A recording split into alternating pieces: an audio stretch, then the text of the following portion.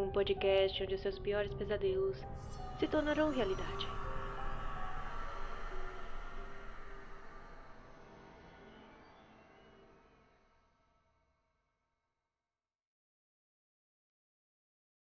Na sala superior de uma residência desocupada, na região de São Francisco, conhecida como North Beach, repousava o corpo de um homem sob um lençol. Eram quase as nove horas da noite e uma única vela iluminava escassamente o quarto. Embora o tempo estivesse quente, as duas janelas, contra o costume de dar muito ar aos mortos, estavam fechadas e as persianas puxadas para baixo.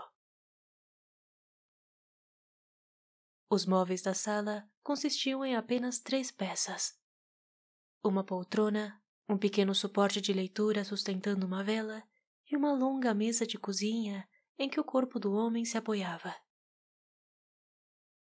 Todos os móveis, inclusive o cadáver, pareciam ter sido trazidos recentemente para um observador, já que, se houvesse um, teria visto que todos estavam livres de poeira, enquanto todo o resto da sala estava bastante coberto por ela.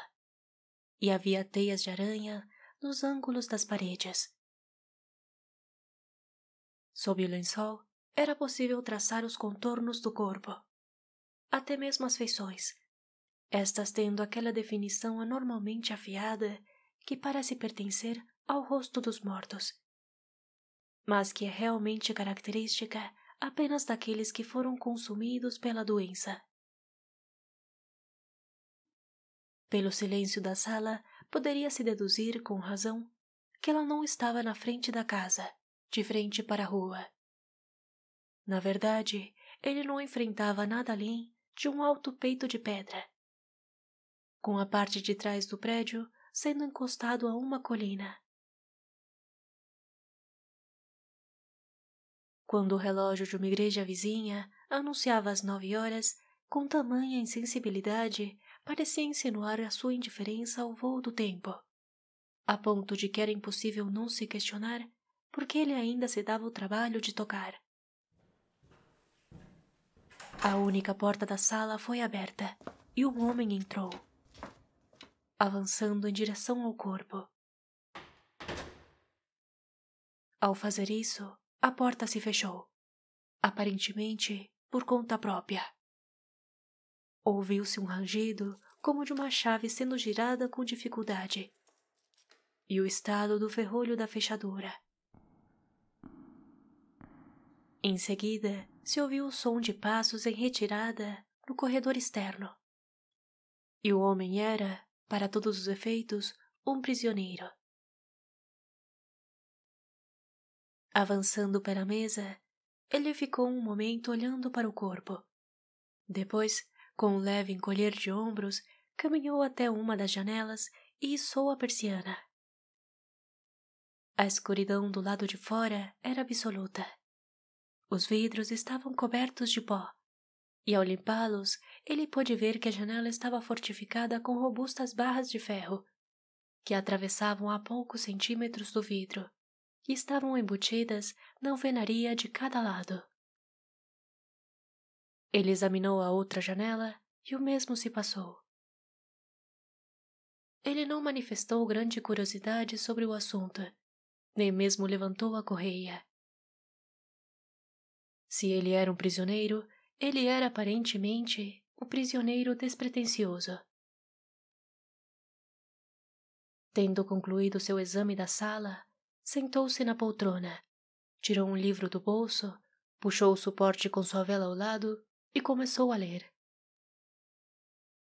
O homem era jovem, não mais de trinta anos, moreno, barbeado e com cabelos castanhos. Seu rosto era fino e de nariz alto, com uma testa larga e uma firmeza do queixo e da mandíbula, algo que é normalmente visto como um sinal de determinação. Seus olhos eram cinzentos e firmes. Não se moviam, exceto com um propósito definitivo. Eram agora, para a maior parte do tempo, fixados em seu livro. mas ocasionalmente ele os retirava e os voltava para o corpo sobre a mesa. Não tendo, aparentemente, qualquer fascínio sombrio, que sob tais circunstâncias poderia exercer até mesmo em uma pessoa corajosa. Nem como uma manifestação consciente contra a influência contrária que poderia dominar uma pessoa atemorizada. Ele olhou para aquilo como se em sua leitura ele tivesse encontrado algo que o lembrasse de seu ambiente. Claramente, este vigilante junto ao morto estava descarregando sua autoconfiança com inteligência e compostura, da forma como lhe convinha. Depois de ler por talvez meia hora, ele pareceu chegar ao final de um capítulo. E, discretamente, deixou o livro de lado. Ele então se levantou e, tirando o suporte de leitura do chão, levou-o para um canto da sala, perto de uma das janelas. Levantou a vela e voltou para a lareira vazia, frente à qual ele havia estado sentado. Um momento depois, ele caminhou até o corpo sobre a mesa, levantou o lençol e o retirou da cabeça, expondo uma massa de cabelos escuros e um fino pano de rosto, abaixo do qual as feições se revelaram ainda mais nítidas do que antes. Sombreando seus olhos ao interpor sua mão livre entre eles e a vela, ele ficou olhando para seu companheiro imóvel, com um olhar sério e tranquilo. Satisfeito com sua expressão, ele puxou o lençol sobre o rosto novamente e voltou para a poltrona. Tirou alguns fósforos do castiçal, colocou-os no bolso lateral de seu casaco e sentou-se. Ele então levantou a vela de sua base e a olhou criticamente, como se estivesse calculando quanto tempo duraria. Tinha apenas dois centímetros de comprimento. Em mais uma hora, ele estaria na escuridão. Ele a recolocou no castiçal e apagou. Em um consultório médico na Kearney Street, três homens sentaram-se em torno de uma mesa, bebendo ponche e fumando. Era tarde, quase meia-noite de fato, e não tinha faltado ponche. O mais grave dos três, o Dr. Herberson, era o anfitrião. Estavam em sua sala. Ele tinha cerca de trinta anos de idade. Os outros eram ainda mais jovens, Todos eram médicos. O temor supersticioso com que os vivos encaram os mortos é hereditário e incurável. Não é preciso se envergonhar mais do que o fato de herdar, por exemplo, uma incapacidade matemática ou uma tendência a mentir, disse o Dr. Herberson. Os outros riram. Não deveria um homem ter vergonha de mentir? perguntou o mais jovem dos três que, na verdade, era um estudante de medicina ainda não formado. Meu querido Harper, eu não disse nada disso. A tendência de mentir é uma coisa, mentir é outra.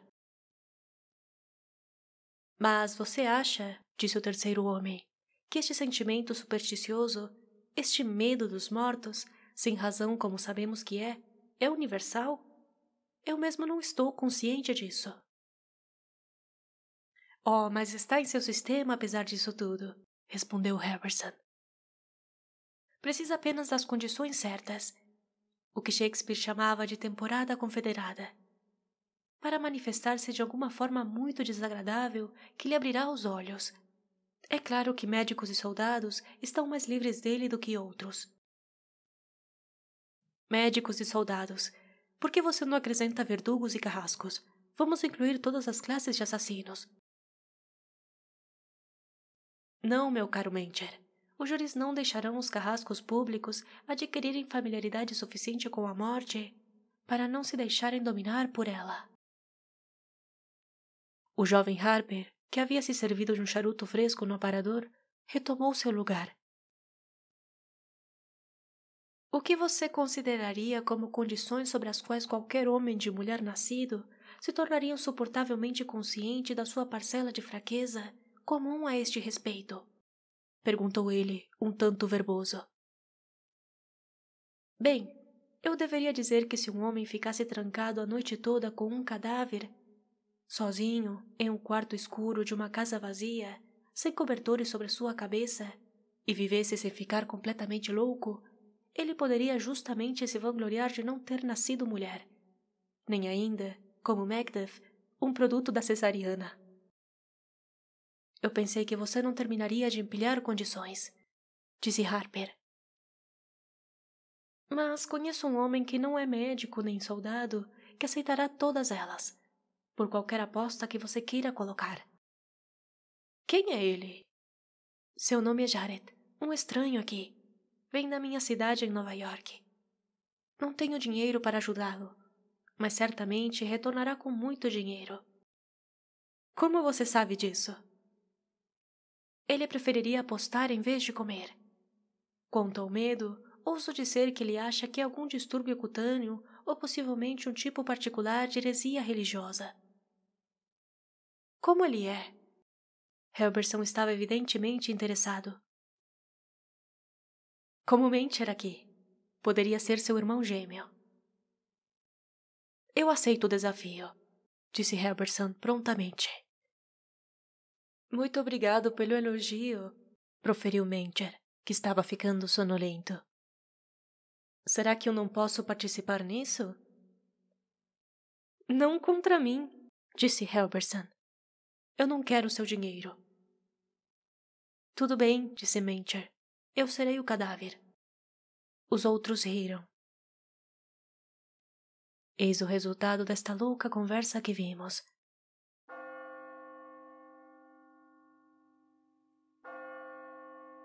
Ao extinguir sua escassa quantidade de velas, o objetivo de Jared era preservá-la diante de alguma necessidade imprevista.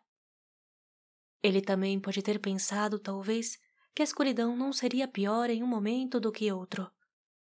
E se a situação se tornasse insuportável, seria melhor ter um meio de alívio, ou até mesmo de libertação. De qualquer forma, foi sábio ter um pouco de reserva de luz, mesmo que apenas para permitir que ele olhasse para seu relógio. Logo que ele apagasse a vela e a colocasse no chão a seu lado, ele se ajeitou confortavelmente na poltrona. Inclinou-se para trás e fechou os olhos, com esperança e expectativa de dormir. Nisto ele ficou desapontado. Nunca em sua vida havia sentido menos sono. E em poucos minutos desistiu da tentativa. Mas o que ele poderia fazer? Ele não poderia andar cambaleando na escuridão absoluta, correndo o risco de se machucar.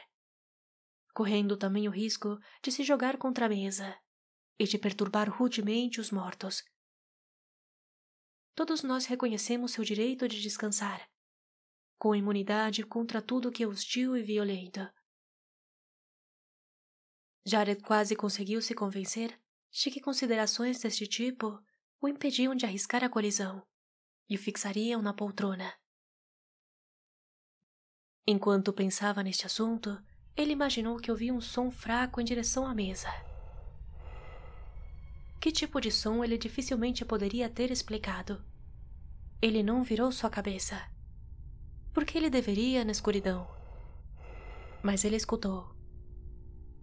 Por que ele não deveria? E ouvindo, ele ficou tonto e agarrou os braços da poltrona para se apoiar. Havia um estranho zumbido em seus ouvidos. Sua cabeça parecia estourar. Seu peito estava oprimido pelo aperto de suas roupas. Ele se perguntava por que isto ocorria e se estes eram sintomas de medo.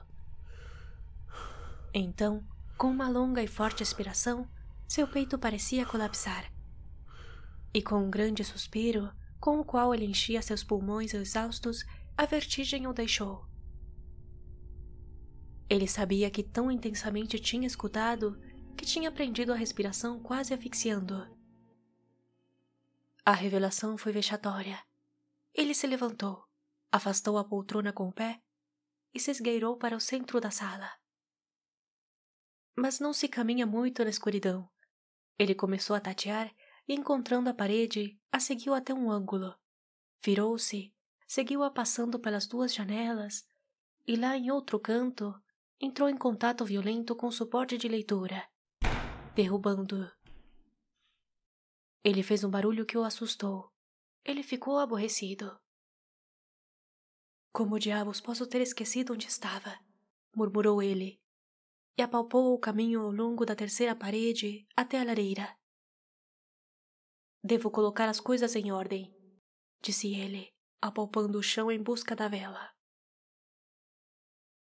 Tendo-a recuperado, acendeu-a e imediatamente virou os olhos para a mesa, onde, naturalmente, nada havia sofrido qualquer mudança. O suporte de leitura permaneceu sem ser observado no chão. Ele havia esquecido de colocar as coisas em ordem. Ele olhou tudo em torno à sala, dispersando as sombras mais profundas pelos movimentos da vela em sua mão. E tendo atravessado para a porta, testou-a girando e puxando a maçaneta com todas as suas forças. Ela não cedeu, e isto pareceu dar-lhe uma certa satisfação. De fato, ele assegurou com mais firmeza, por um ferrolho que antes não havia observado. Voltando para sua cadeira, ele olhou para seu relógio. Eram as nove e meia. Com um pouco de surpresa, ele colocou o relógio em seu ouvido. Ele não tinha parado. A vela estava visivelmente mais curta. Ele apagou novamente, colocando-a no chão a seu lado como antes. O Sr. Jared não estava à vontade. Estava nitidamente insatisfeito com o seu ambiente e com ele mesmo por estar assim. O que tenho a temer? pensou ele. Isto é ridículo e vergonhoso. Não serei um tolo tão grande. Mas a coragem não vem das palavras serei corajoso nem de reconhecer sua adequação à ocasião. Quanto mais Jared condenava a si mesmo, mais razão ele se dava para condenar. Quanto maior o número de variações que ele tocava sobre o simples tema da iniquidade dos mortos, mais insuportável crescia a discórdia de suas emoções. O quê? gritou em voz alta na angústia de seu espírito. O que eu devo fazer? que não tem um tom de superstição em minha natureza. Eu que não acredito na imortalidade. Eu que sei, e que nunca mais claramente do que agora, que depois da vida eu sonho de um desejo. Perderei imediatamente a minha aposta, minha honra e meu respeito próprio. Talvez minha razão. Porque certos ancestrais selvagens que moravam em cavernas e tocas conservaram a noção monstruosa de que mortos caminham pela noite isso. Distintamente, sem qualquer dúvida, o Sr. Jarrett ouviu atrás de si um leve e suave som de pisadas. De maneira intensa, regular e sucessivamente se aproximando.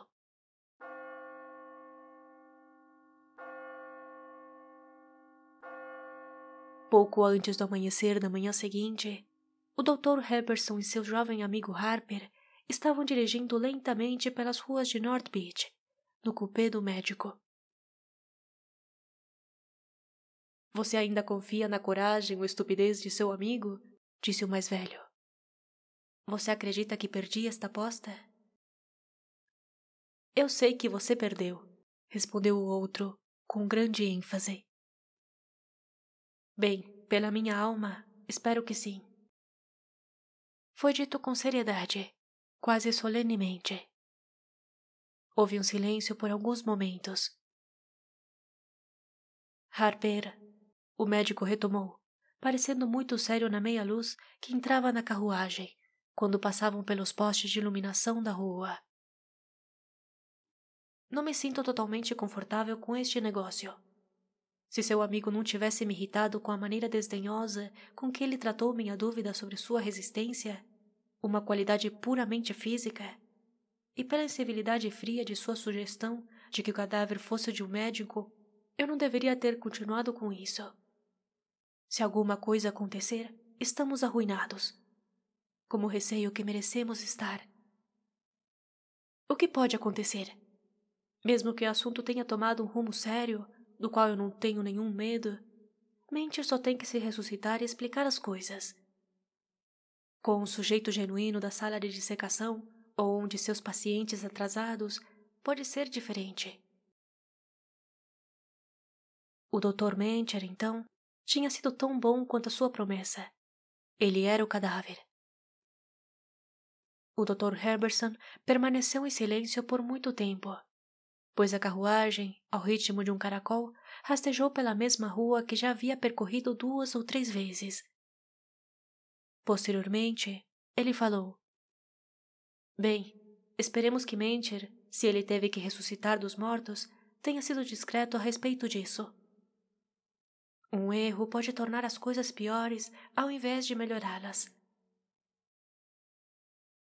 Sim, disse Harper. Jared o mataria. Mas, doutor, olhando para seu relógio quando a carruagem passou por uma lâmpada a gás. São quase as quatro horas, finalmente. Um momento depois, os dois haviam desistido do veículo e estavam caminhando rapidamente em direção à casa muito desocupada, pertencente ao médico na qual haviam imerso o Sr. Jarrett, de acordo com os termos da louca aposta. Ao se aproximarem, encontraram um homem correndo. Você pode me dizer? gritou ele, subitamente reduzindo a sua velocidade. Onde posso encontrar um médico? Qual é o problema? questionou Helberson discretamente. Vá e veja por si mesmo, disse o homem, retomando a sua corrida.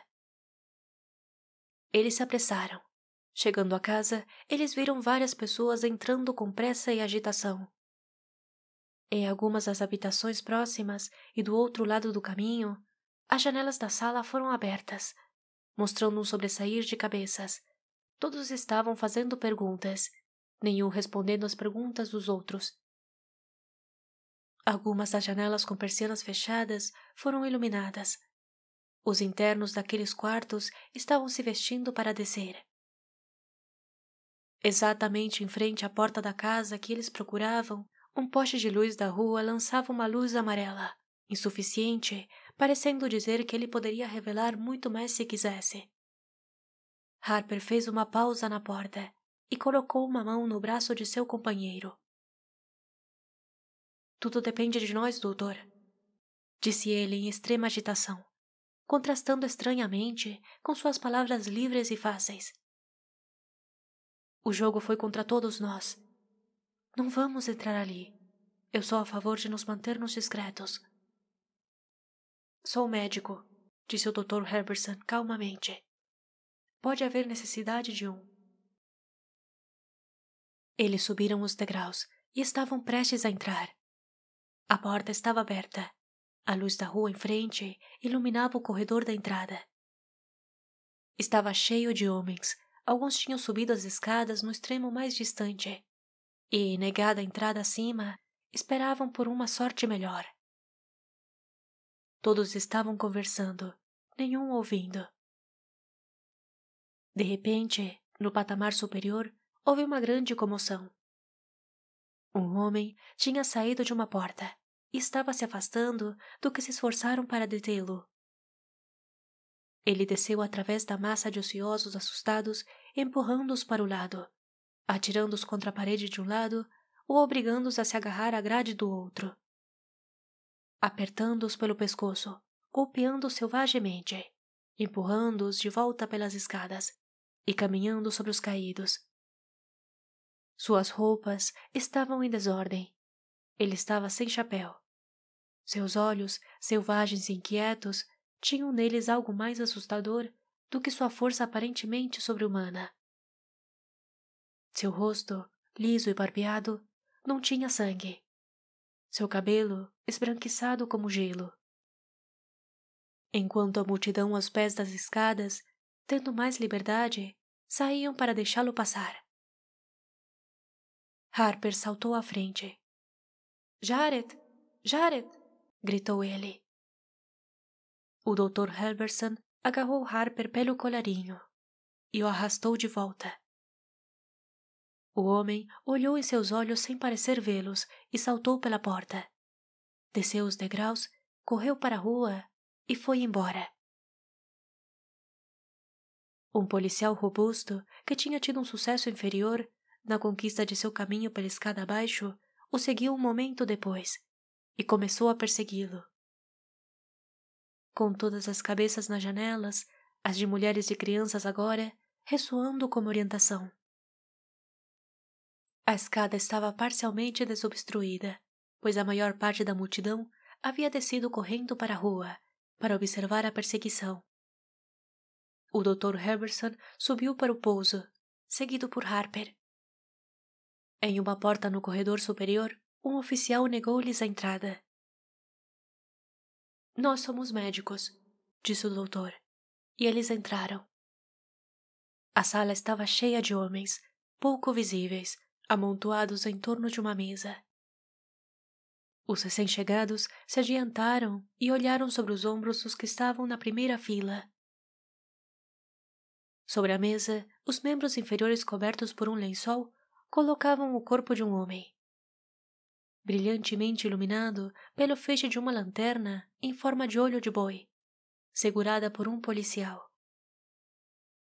Os outros, exceto aqueles próximos à cabeça e o próprio oficial, estavam na escuridão. A face do corpo mostrava-se amarela, repulsiva e horrível. Os olhos estavam parcialmente abertos e voltados para cima, e a mandíbula caída. Traços de espuma contaminavam os lábios, o queixo e as bochechas. Um homem alto, evidentemente um médico, inclinou-se sobre o corpo, com uma mão colocada por baixo da frente da camisa. Ele a retirou e colocou dois dedos na boca aberta. Este homem está cerca de seis horas morto. É um caso para o médico legista. Ele disse. Ele tirou um cartão do bolso, entregou ao oficial e seguiu em direção à porta. Afastem-se todos da sala, disse o oficial, bruscamente, e o corpo desapareceu como se tivesse sido arrancado. Ao deslocar a lanterna, ele lançou seu feixe de luz aqui e ali contra os rostos da multidão. O efeito foi surpreendente.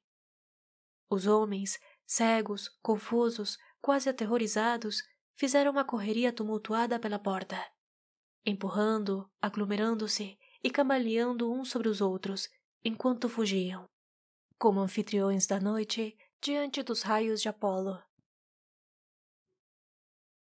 Ao se esforçar, Pisoteando a massa, o oficial derramou sua luz sem piedade e sem cessar. Apanhados na correnteza, Herberson e Harper foram varridos para fora da sala e, em cascata, desceram as escadas para a rua. Meu Deus, doutor, não lhe disse que Jared o mataria, disse Harper, assim que eles se afastaram da multidão. Acredito que sim, respondeu o outro, sem emoção aparente. Eles caminharam em silêncio, bloco após bloco, contra o leste cinzento. As residências das tribos das colinas se apresentavam em silhuetas. A familiar carruagem do leite já estava agitada nas ruas. O padeiro logo entraria em cena. O carregador de jornais estava se preparando para sair. Parece-me, jovem, que você e eu temos tomado muito ar matinal ultimamente. Não é saudável. Precisamos de uma mudança. O que você acha de uma viagem pela Europa? Disse Herberson. Quando? Eu não sou exigente. Eu deveria supor que às quatro horas desta tarde seria suficientemente cedo. Nos encontramos no barco, disse Harper.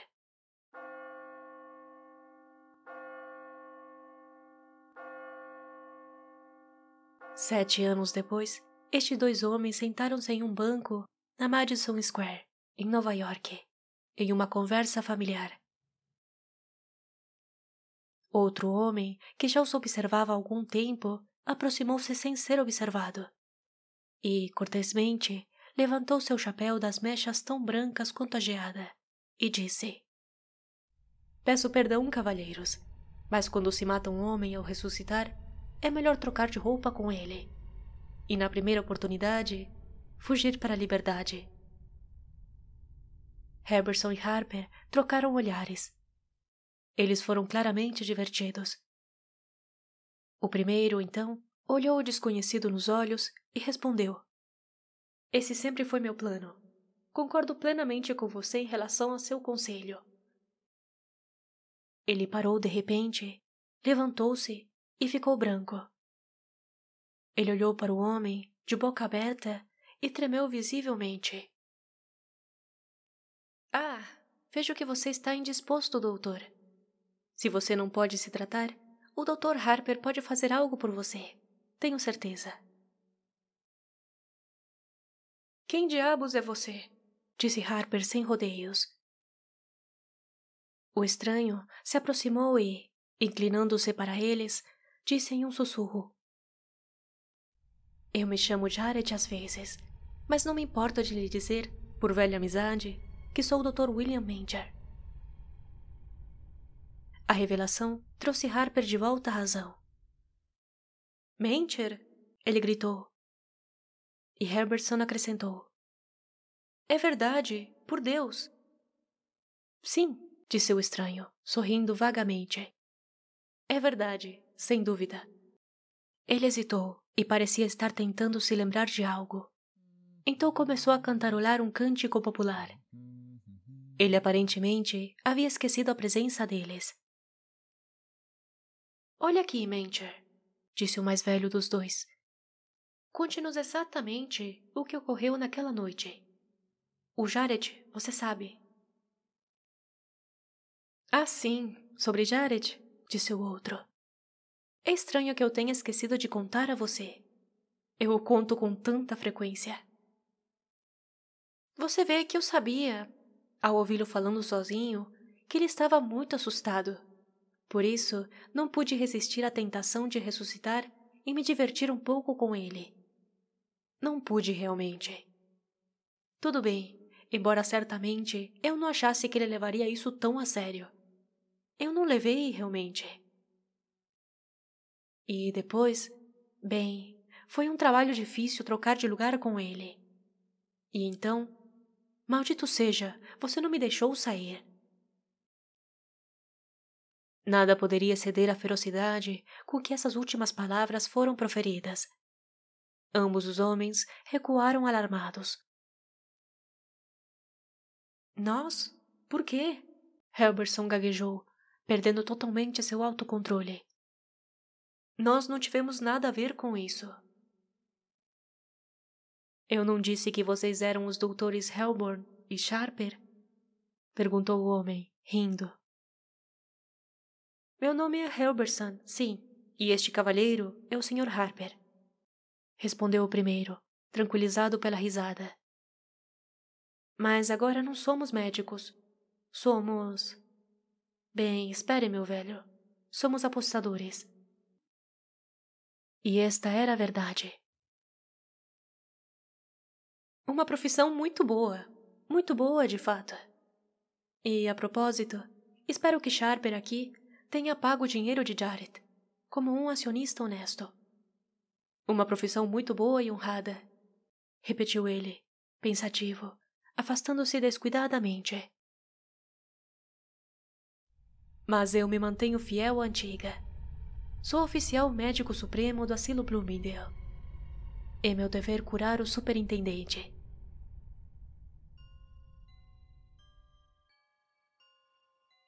Avalie e siga este podcast. Isso seria uma enorme ajuda para a continuação deste programa. Inscreva-se no canal Pesadelos Reais no YouTube e, por favor, deixe seu like e compartilhe conosco o seu próprio relato ou sugestão de tema enviando para o e-mail que está na descrição. Considere me seguir no Instagram, no arroba podcast Pesadelos Reais. Lá estarei avisando cada vez que houver um novo episódio. Me despeço por hoje, lhe envio um abraço psicológico bem apertado e até o próximo episódio.